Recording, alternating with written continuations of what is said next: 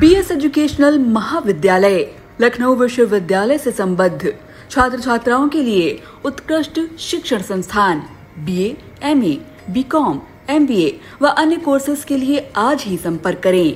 Khairabad Biswa road Pakariya Sitapur. सत्र दो हज़ार तेईस चौबीस के लिए प्रवेश प्रारंभ। निर्माण कार्यों की समीक्षा के दौरान जिलाधिकारी का पारा उस समय सातवें आसमान पर जा पहुँचा। जब उन्होंने पाया कि नैमिषारण्य के विभिन्न स्थानों पर पर्यटन विभाग द्वारा अभी तक साइनेज बोर्ड नहीं लगवाए गए हैं। इस पर डीएम मनोज सिंह ने संबंधित को कड़ी फटकार लगाई और नैमिषारण्य में चिन्हित स्थानों पर जल्द से जल्द साइनेज बोर्ड लगवाए जाने के लिए निर्देशित किया। डीएम ने कलेक्ट्रेट सभागार में 50 लाख से अधिक लागत वाले निर्माण कार्यों की मासिक बैठक में समीक्षा की। हालाँकि समीक्षा में सड़कों के निर्माण को शामिल नहीं किया गया।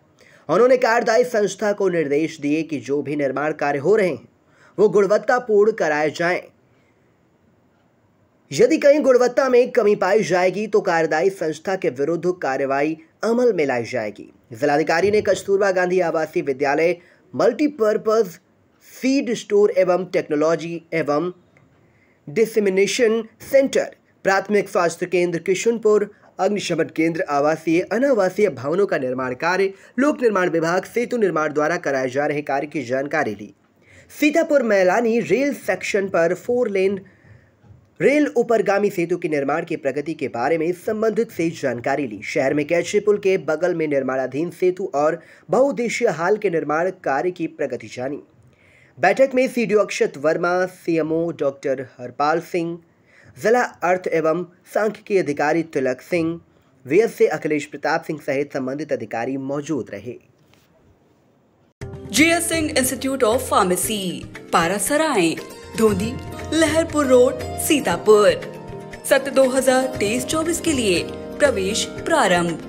D pharm B pharm PG diploma in journalism and mass communication PG diploma in computer application Seth M R Jaipuria school Mahmudabad, nursery से कक्षा 12 तक। सत्र 2023-24 के लिए प्रवेश प्रारंभ। सुनहरे एवं प्रतियोगी भविष्य की ओर बढ़ते कदम। सपनों को साकार करने का संकल्प। 31 जुलाई 2023 तक एडमिशन शुल्क पूर्णतया माफ़।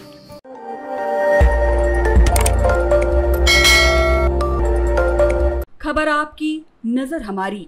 देखते रहिए आई इंडिया।